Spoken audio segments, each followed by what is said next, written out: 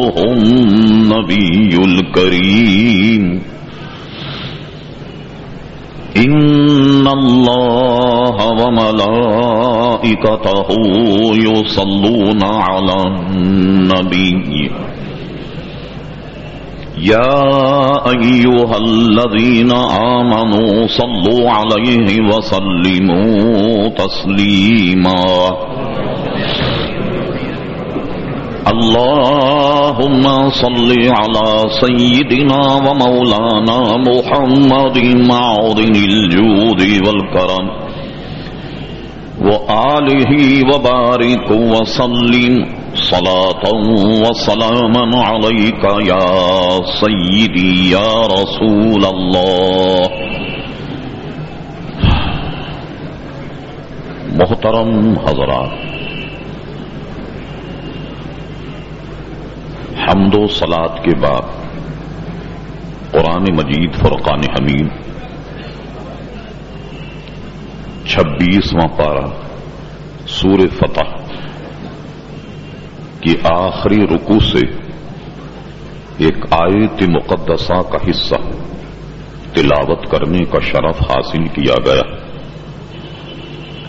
कबल इसके कि कुछ अरस किया जाए। अल्लाह तबारक व ताला से दुआ है कि वो अपने प्यारे हबीब लबीब नबी करीम रऊफ रहीम आलह अफदलसलात व तस्लीम के सदक़ तुफैल मुझे हक कहने की तोफीक अता फरमाए।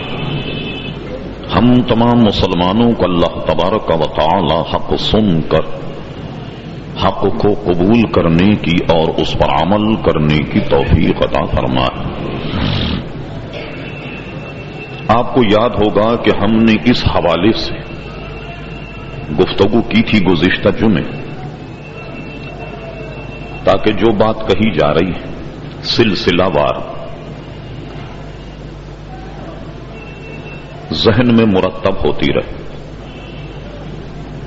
पहले हमने कुरान मजीद, फुरकान हमीद के हवाले से गुफ्तगु की और फिर ये बताया कि कुरान मजीद, फुरकान हमीद को समझने के लिए अकवाल रसूल सल्लल्लाहु ताला अलैहि वसल्लम की हमें ज़रूरत है।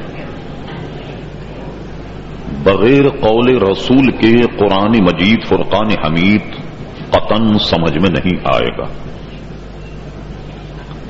और जो ये कहे कि सिर्फ़ हमारे लिए कुरान काफ़ी है, ऐसा शख्स दायरे इस्लाम से इस माना कर खारिज कि कुरानी आयात ही नबी करीम सल्लल्लाहु अलैहि वसल्लम की अहमियत को बयान करती है।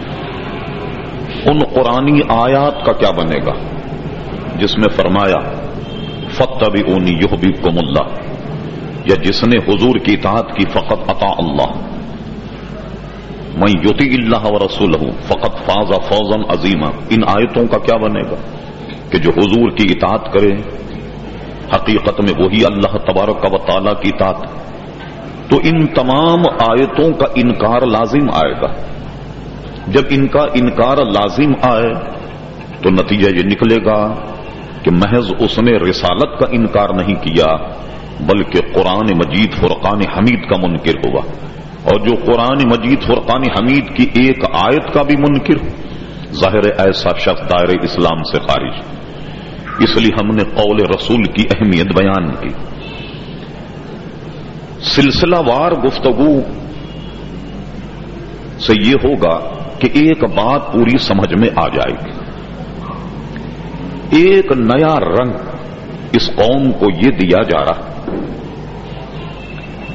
बजाहिर वो इबारत लिखा हुआ, बड़ा हसीन और जमील लगता। लेकिन लोग नहीं पहचान पाते कि उसके पसे पर्दे, उसका माना, उसका मफहूम या कौम को गुमराह करने के क्या अजायम आपने देखा कि आजकल गाड़ियों पर कुछ स्टीकर निकल चले। दरवाजों पर भी लगते हैं। आम जगह आपको मिलेंगे। या रसूल अल्लाह कहिए असलात व सलाम का या रसूल अल्लाह या रसूल अल्लाह मदद तो लोगों ने क्या किया? माज अल्लाह अल्लाह और उसके रसूल का मुकाबला जहन में ठान लिया। अब उसके मद्दे मुकाबिल ये इबारत लिखी जाने लगी कि हमारे लिए अल्लाह काफ़ी जगह जगह आप देखिए कि मेरे लिए अल्लाह काफ़ी, मेरे लिए अल्लाह काफ़ी। ये बात तो बजाहिर बहुत अच्छी है। कौन मुसलमान इसका इनकार करेगा कि अल्लाह तबारक का ताला उसके लिए काफ़ी नहीं? कौन मुसलमान ये कहेगा कि अल्लाह तबारक का ताला उसके लिए काफ़ी नहीं? लेकिन इसके पसे पर्दा अजायम ये हैं कि रसूल कुछ नहीं। बस अल्लाह काफ़ी। अगर उसका माना यह है तो ये बहुत बड़ी साजिश है जिससे मुसलमानों को समझना ज़रूरी। वो शख्स ये कहे कि अल्लाह तबारक का ताला काफ़ी है का मतलब अब न हदीस की ज़रूरत है, न रसूलों की ज़रूरत है, न अइमा की ज़रूरत, न मुहदसिन की ज़रूरत, बस अल्लाह काफ़ी। अच्छा अगर ये कह दिया जाए कि अल्लाह काफ़ी है तो क्या ये बात कुरान मजीद की रोशनी में बिल्कुल दुरुस्त है कि सिवाय अल्लाह के कुछ नहीं चाहिए? ऐसा नहीं।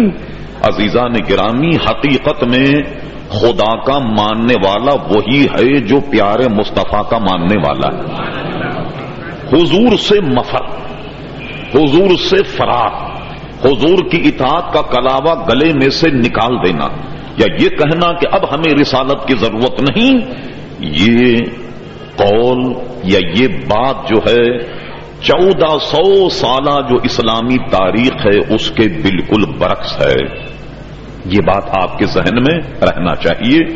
तो अब मैं अर्ज़ करता हूँ कि आदमी को मोमी या मुसलमान बनने के लिए सिर्फ़ ये कह देना कि मेरे लिए अल्लाह काफ़ी है, ये सही नहीं, बल्कि सारी जरूरियात दीन पर उसको ईमान लाना होगा।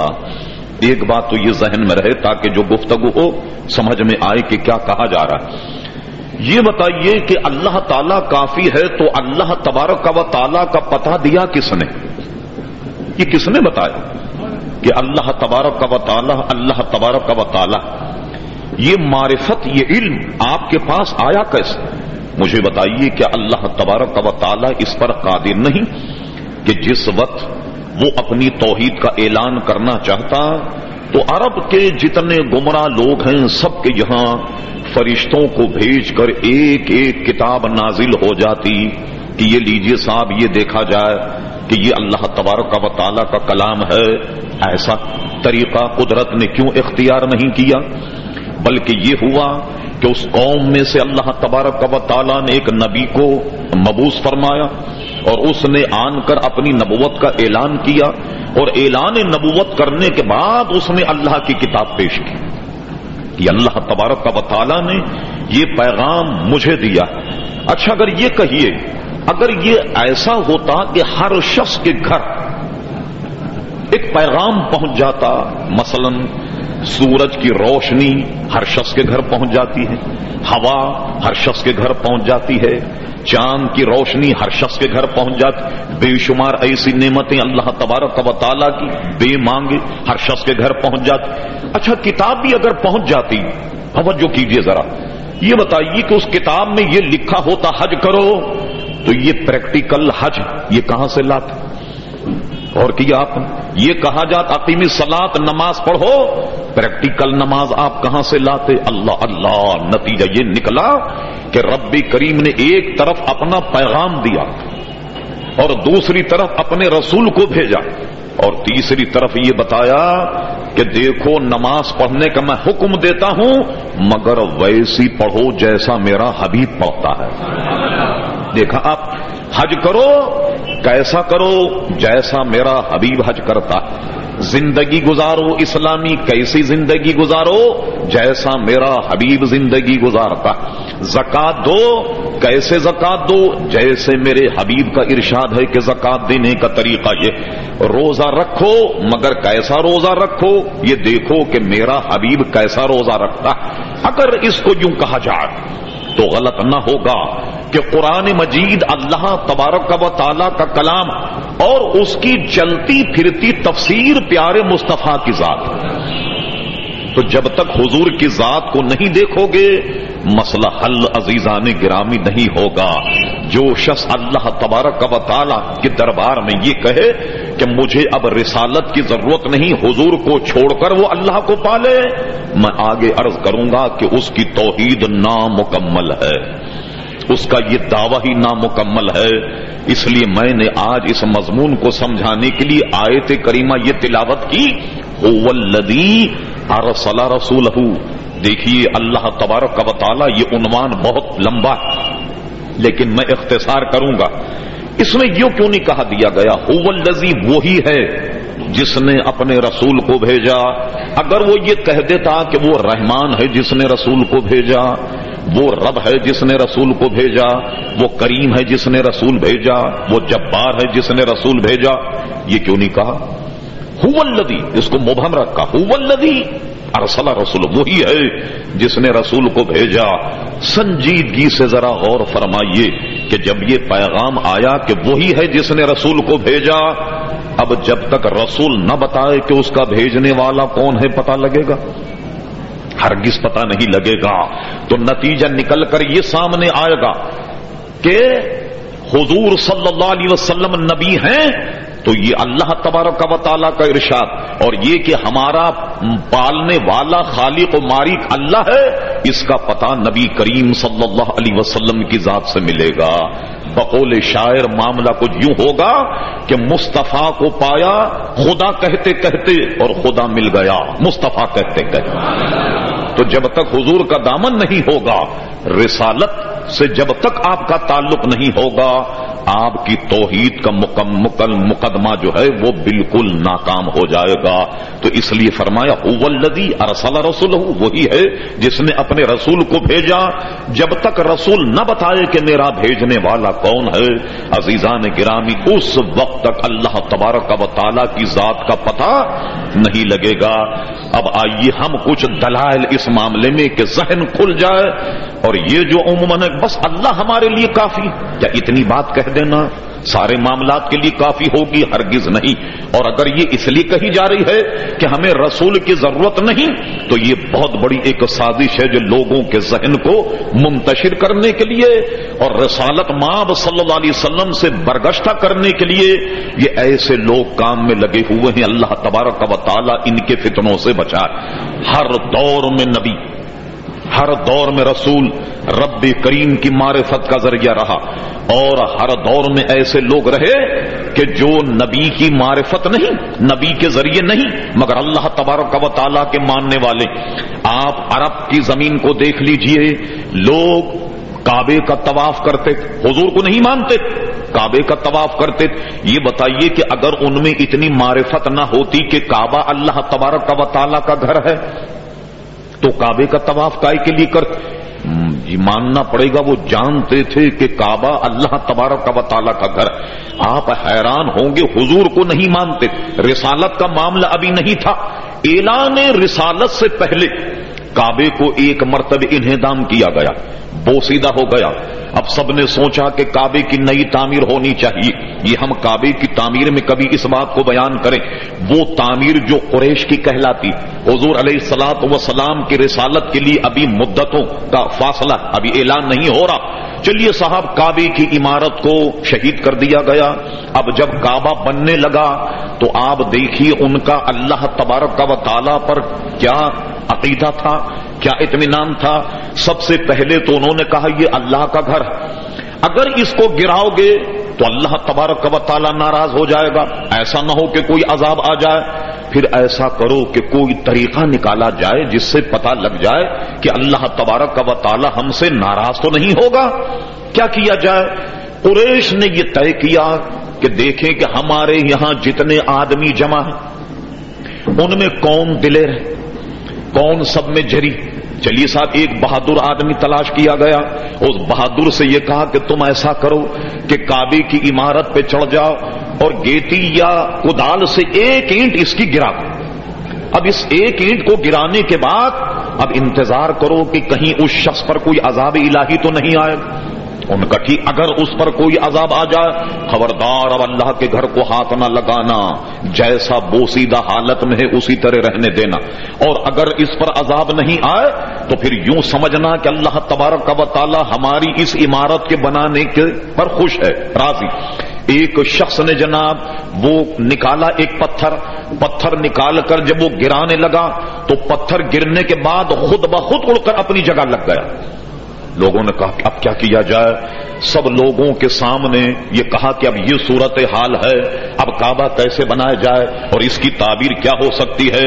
तो लीजिए साहब, फिर सबने ये तय किया। ये उस जमाने की बात बता रहा हूँ कि देखो, पहले तुम वादा करो अल्लाह ताला कि इसके घर की तामीर में हराम का पैसा नहीं लगेगा सूद का पैसा नहीं लगेगा, गजब का पैसा नहीं लगेगा। लोगों ने वादा किया कि काबे की तामीर में हम सूद का पैसा नहीं लगाएँगे। और कोई हराम या किसी का दिल दुखा हुआ पैसा, माल, गजब जो है, वो इसमें नहीं लगाया जाएगा। ये सबने वादा कर लिया। अब वादा करने के बाद, अहद करने के बाद, अब ईंट गिराई गई, वो ईंट गिर गई। उनका अब 24 घंटे इंतज़ार करो कि इस पर कोई आजाब तो नहीं आ रहा। इंतज़ार करने लगे लोग। दूसरे दिन तक उस शख्स पर कोई अजाब नहीं आया। उनका बस अल्लाह तबारक का बताला अब अपने घर के बनाने से राज़ी है। अब इस इमारत को शहीद करके काबा बनाया जाए। मैं पूछता हूँ, ये बताइए, अगर वो खुदा के मुनकिर होते तो ये काम करते? आज तो हमारा मुसलमान ये कहता है, मौलाना, आपके यहाँ ऐलान हुआ था कि मस्जिद के लिए चंदा चाहिए।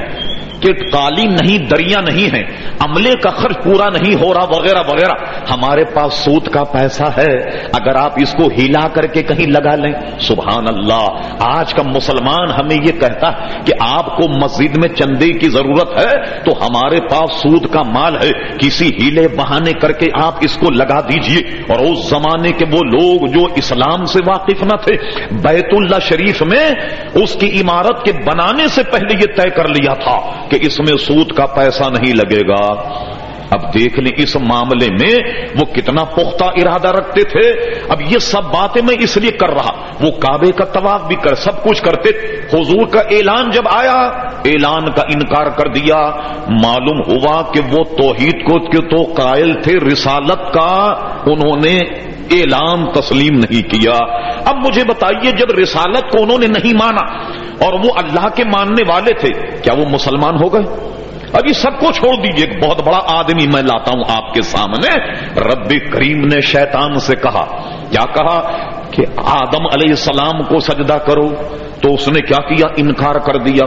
काला, या इबलीस माला का अल्लाह तकुन अम्मा साजिदिन। काला, अलम ले असजुदा ले बशरिन खलक मिन सल साली मिन हमा इम मसनून। मुझे तो लायक नहीं कि मैं ऐसे को सजदा करूँ कि जिसको तूने मिट्टी और कीचड़ से बनाया। तो रब्बे करीम कहता, तुम बिल्कुल ठीक कहते हो। आदम मिट्टी से बना। आदम को मिट्टी और उसमें पानी में गूंद करके बनाया गया।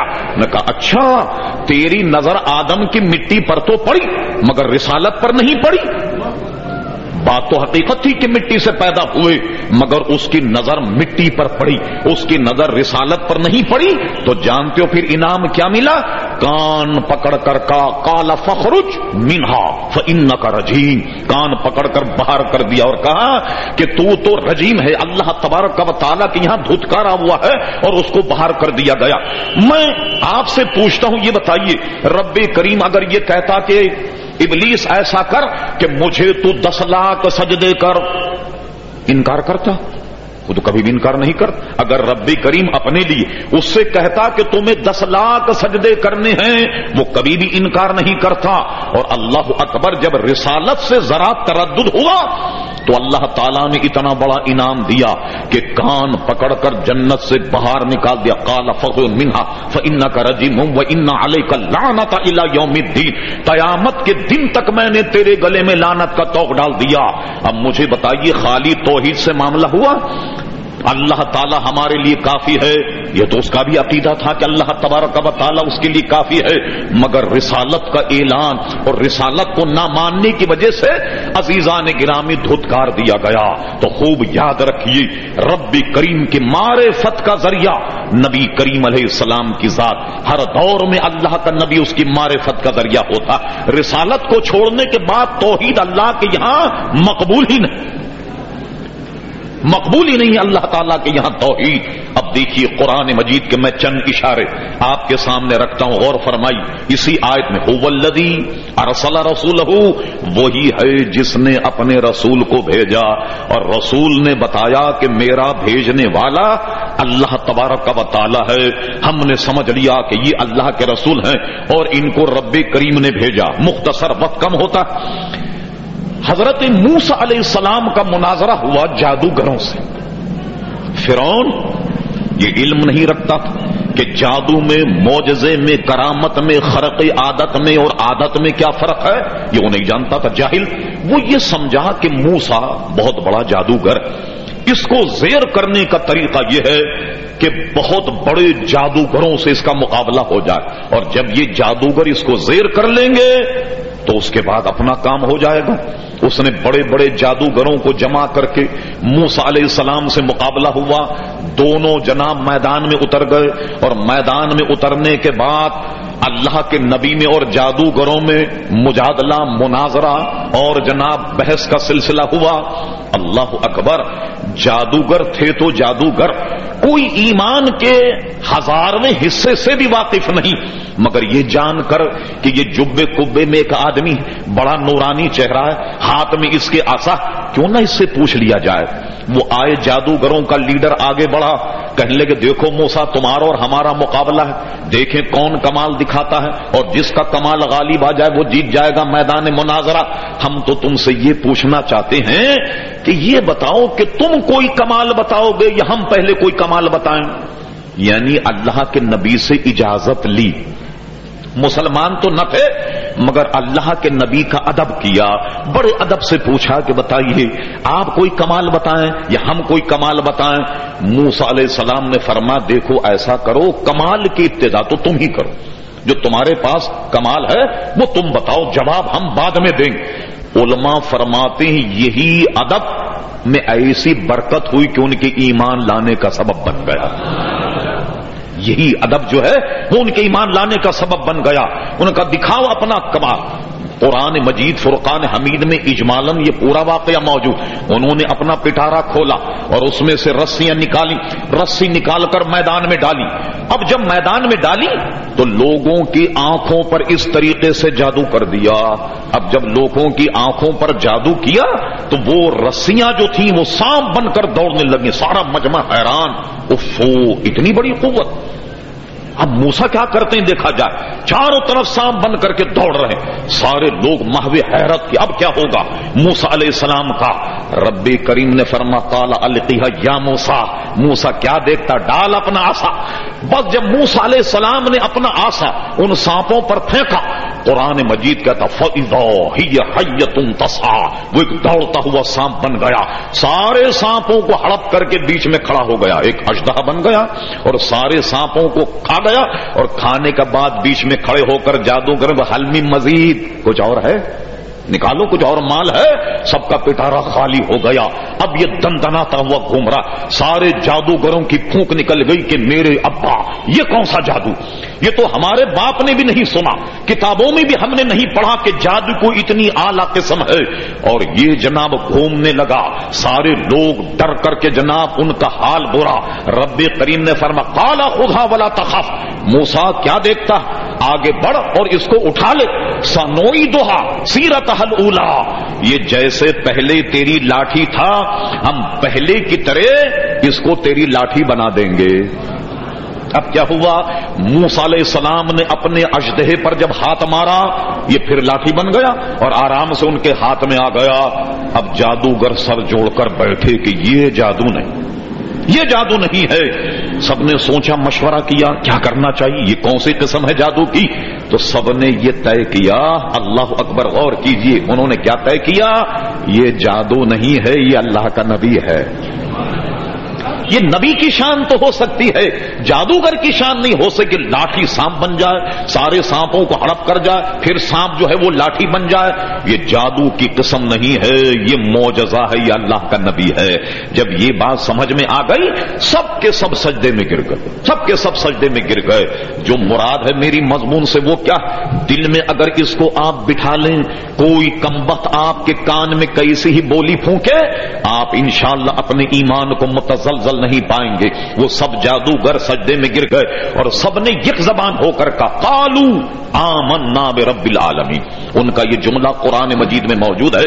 हम ईमान लाए अल्लाह तबारक का ताला पर जो आलमीन का बनाने वाला, आलमीन का पानने वाला, हम उस पर ईमान लाए। जरा गौर कीजिए, जो लोग कहते हैं बस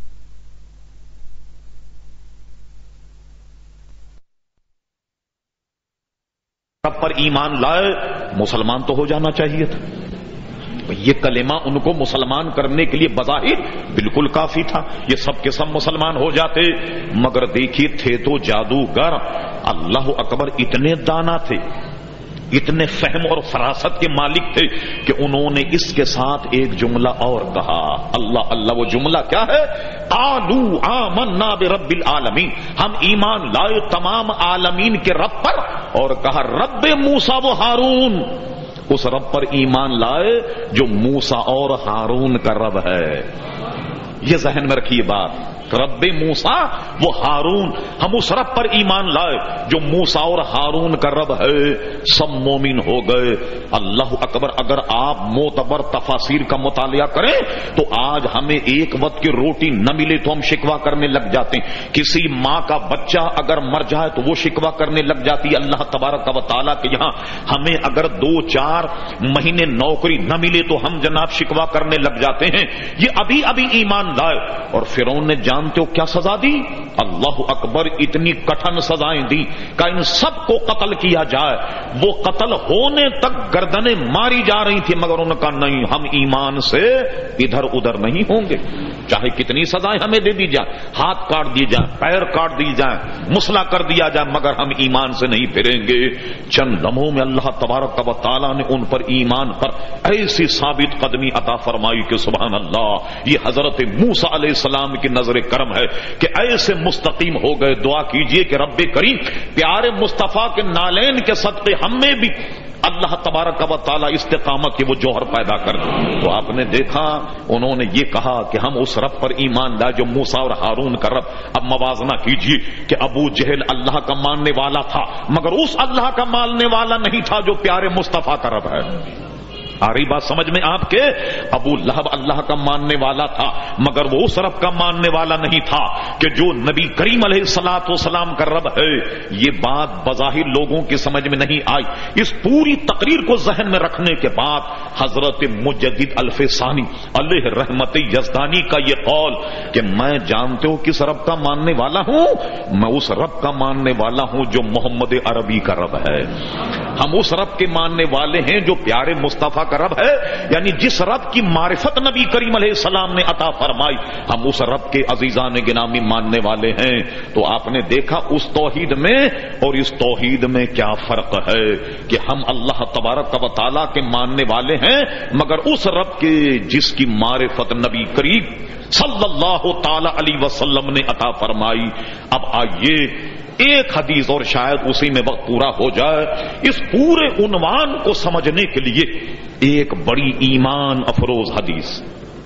ईमान ताज़ा हो जाए। यहाँ कोई जो हजरात ओलमा हो या अहले इल्म हो, वो अगर इस हदीस को जाँच पड़ताल करना चाहें, इसकी सेहत पर, इसके असमाउ रिजाल पर, और ये कि कहीं ये किस तरीक से आई फला हदीस में इसको कैसे बयान किया गया? मुख्तसर अल्फाज का गोया जरा सा बढ़ जाना या कम हो जाना पसो पेश। इस पूरे पर गुफ्तगु आला हज़रत इमाम अहल सुन्नत, मौलाना शाह अहमद रजा खां फाजल बरेलवी रहमत अमन वल उला। उसका मुतालिया फरमाइए। बस मैंने एक किताब की निशानदही कर दी। इसका तमाम सियाक सिबाक जो अहले इल्म है, वहाँ मुलायजा फरमा दें। अब आइए उन सब का निचोड़ क्या ईमान ताज़ा हो जाए, एक नई ईमान को चाशनी मिल जाए। सुनिए हदीस शरीफ। नबी करीम ये जहन में रखिए। नबी करीम सल्लल्लाहु ताला अलैहि वसल्लम के बगैर अल्लाह की मारिफत दुरुस्त नहीं। तोहीद की मारिफत का ज़रिया नबी करीम सलात सलाम ही की जात।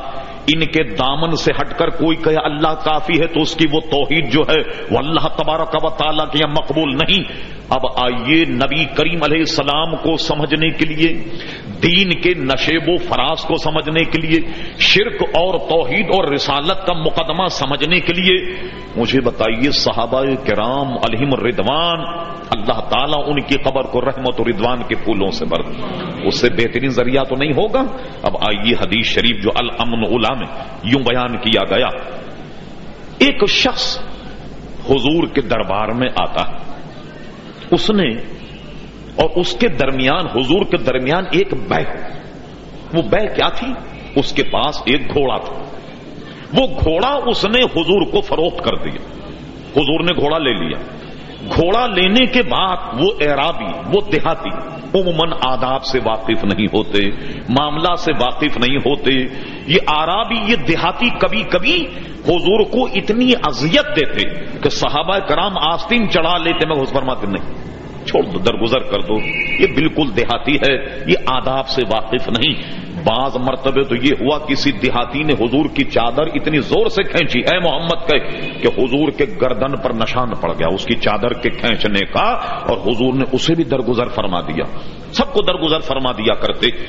उसने घोड़ा बेचा और बेचने के बाद उसने क्या किया? चंद दिनों के बाद हुजूर के पास आ गया। एक एक जुमले पर गौर कीजिए। कहने लगा अय मोहम्मद, सल्लल्लाहु अलैहि वसल्लम वो मैंने आपके पास एक घोड़ा रखा था। वो मुझे वापस कर दीजिए। उसने फरमा, रखा था? क्या तूने वो घोड़ा बेचा नहीं? क्या तूने वो घोड़ा फरोख नहीं किया? वो पसर गया कहने लगा नहीं, मैंने तो नहीं बेचा। उसने फरमा, तूने वो घोड़ा मेरे हाथ फरोख्त किया। पैसे लिए, दाम ली है गोया। अब मैं कैसे तुझे वापस मुकर, नहीं? मैंने तो आपको बेचा नहीं। लीजिए साहब, मुकर गया। मुकरने के बाद था तो देहाती, मगर देखिए उसने क्या शरारत की और क्या मामला किया अपना मुकदमा जीतने कहने लगे अच्छा चलिए हम आपकी बात मान लेते हैं कि आपने घोड़ा हमसे खरीदा और हमने आपको बेचा। अगर ऐसा है, जैसा आप बयान करते तो ऐसा कीजिए, कोई गवाह ले आइए। वो गवाह गवाही दे दे कि आपने खरीदा, मैंने बेचा, मैं हारा, आप जीत गए। चलिए यूँ कर लीजिए आप, हुसन इत्तेफाक कहिए, या सूय इत्तेफाक, या यूँ कह लीजिए कि हुजूर के रिसालत माब सल्लल्लाहु अलैहि वसल्लम को लोग जान ले, इसलिए ये वाकया बहाना हो गया। अब हुजूर से तकरार कर रहा है। कोई गवाह मौजूद नहीं इस बै का। किसको पेश कीजिएगा? और आप जानते हैं, गवाही बगैर देखे देना बहुत संगीन जुर्म। आप गवाही के आदाब, शहादत के कानून पढ़ लीजिए। ये तो हमारी बदकिस्मती है कि पाकिस्तान में कानून शहादत, या माशाल्लाह हाई कोर्ट के हमारे अज़ीज़ वकील भी बैठे हुए हैं, और भी वकला यहाँ होते एक पारसी का बनाया हुआ कानून जिससे सौ बरस गुजर गए, इस्लामी कानून शहादत आज तक नहीं बन पाया। और वो कानून शहादत जो लग वो आज तक वही चल रहा। क्या किया जाए? हम और आप इसी माशरे का हिस्सा है। सबके सब इसमें शरीक। लेकिन इतनी बात तो समझ में आ जाती है कि बगैर देखे की गवाही नहीं मानी जाएगी। अब ये वाकई किसी ने देखा ही नहीं। लीजिए सब गवाही कौन देता? बड़ी माजरत के साथ। हमारे यहाँ का कोर्ट थोड़ी था। कि जैसा चाहे गवाह ले आओ। चोरी का, चकारी का, कत्ल का, और जैसा गवाह आप चाहिए, मिल जाएगा आप बस पैसा आपकी जेब में होना चाहिए, हर किस्म का गवाह आपको मिल जाए। कोई ऐसा मामला भी ना। साहबा डरते थे, कौन गवाही दे अब लीजिए समा ये बना के एक मजमा लग गया। और वो शख हजूर से तकरार कर, लाइए गवाह। लाइए गवाह। गवाह मौजूद नहीं। साहबा कराम गवाही नहीं देते। और सुन लीजिए, हम सब किसी मुकदमे में झूठी गवाही देना। नबी करीम सलाम ने इरशाद फरमाया कि किसी मुकदमे में कोई आदमी अगर झूठी गवाही दे तो वो इतमान कर ले कि उसका ठिकाना जहन्नम है। किसी मामले में चाहे वो छोटी से छोटी बह का मसला, चाहे वो तलाक या निकाह का मसला, कहीं भी झूठी गवाही, अल्लाह और उसके रसूल को सख्त नापसंद है। और ऐसे शख्स को जहन्नमी कहा गया, अब मुझे बताइए पूरी जमात साहब में जुरत थी? वो झूठी गवाही दे दे। कोई नहीं, गवाही नहीं मिल रही। परेशान मजमा लगा हुआ। अल्लाह अकबर, कैसा दिलचस्प वाकया। हज़रत खुजैमा, हुजूर के एक सहाबी, वो उधर से गुजरे। गुजरते में उन्होंने देखा कि कुछ लोगों का मजमा, मसला क्या? संगीन लगता, ये मजमे में आ गए। आने के बाद पूछा, क्या मसला? लोगों ने मसला बता दिया। उन्होंने कहा, फिर क्या हुआ? कोई गवाही नहीं दे रहा? कहा किसी ने देखा ही नहीं तो गवाही कौन देगा? उन्होंने कहा, हट जाओ। गए उस शख्स के पास, देहाती के पास। उनका तुझे गवाह चाहिए? मैं गवाही देता हूँ, कसम खुदा की रसूलुल्लाह ने तुझसे घोड़ा खरीदा। मैं गवाही देता हूँ कि हुजूर ने तुझसे घोड़ा खरीदा। अब उन्होंने पहले ये पूछ लिया था, हज़रत खुजैमान। अच्छा कहने लगी, ये तो मांग रहा घोड़ा। और हुजूर कहते मैंने खरीदा, वगैरह। अच्छा ये बताओ कि इस मुकदमे में हुजूर क्या कहते हैं? साहबा ने कहा, हुजूर तो फरमाते हैं कि मैंने खरीदा। बस कहने लगे, अब हो गई बात, आ गया। मैं गवाही देता हूँ कि हुजूर ने तुझसे घोड़ा खरीदा। अब जब उन्होंने कहा कि मैं गवाही देता हूँ कि घोड़ा खरीदा देहाती तो मुकदमा हार गया, वो तो चला गया और घोड़ा हुजूर का हो गया और पहले भी था। मगर सारे साहबा ने पूछा, खुजैमा, तुमने तो वाकया नहीं देखा? तुमने गवाही कैसे दी? तुमने गवाही कैसे दे दी कि हुजूर ने ये घोड़ा खरीदा? यहाँ तक कि, कि हुजूर ने भी उनसे पूछा होगा कि तुमने गवाही कैसे दी कि तुमने घोड़ा खरीद मैंने खरीदा? हालाँकि तुम मौजूद न थे।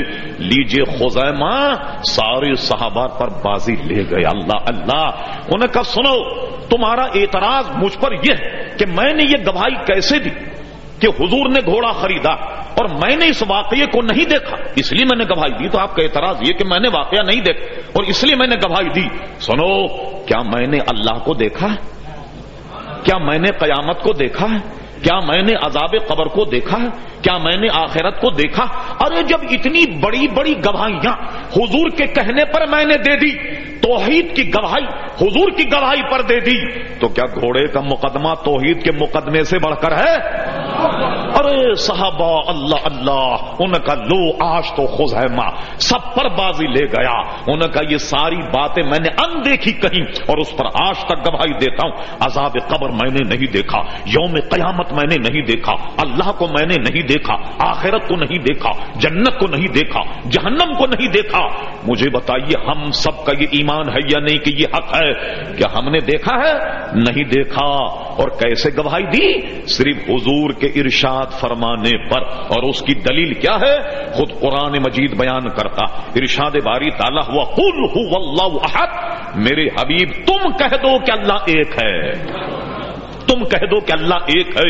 हम सबने कहा, अल्लाह तबारक व एक है। तो उनका घोड़े का मुकदमा कोई तोहिद के मुकदमे से बढ़कर थोड़ी है। अल्लाह अल्लाह, आज हज़रत खुजैमा की सुबहान अल्लाह उनका मकाम, उनकी रिफत का आलम ये क्या ऐसा लगे जैसे कहकशा से बातें कर रही हो।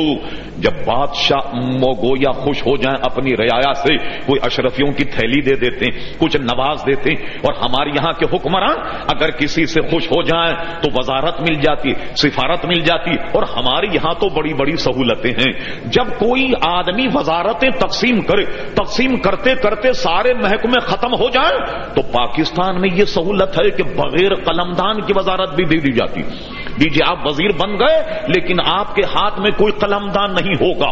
बेमहकमे का वज़ीर बना दिया गया। ये सहूलत भी सिर्फ़ पाकिस्तान ही के अंदर मौजूद है। लेकिन मेरे आका बड़े निराले शहिनशाह हैं, निराले बादशाह। जमात साहबा से का सुनो, आज हम खुजैमा की बात से इस कदर मसरूर हैं, इस कदर खुश हैं कि इनके बारे में हम आज एक इनाम का ऐलान कर रहे हैं। और वो इनाम जो दुनिया भर के लोग जमा हो जा नहीं दे पाएँगे। और वो इनाम बजाहिर अगर हम देखें तो वो उसकी कोई कीमत नहीं लगती, मगर वो अनमोल ही रहा है जो उन्हें दिया।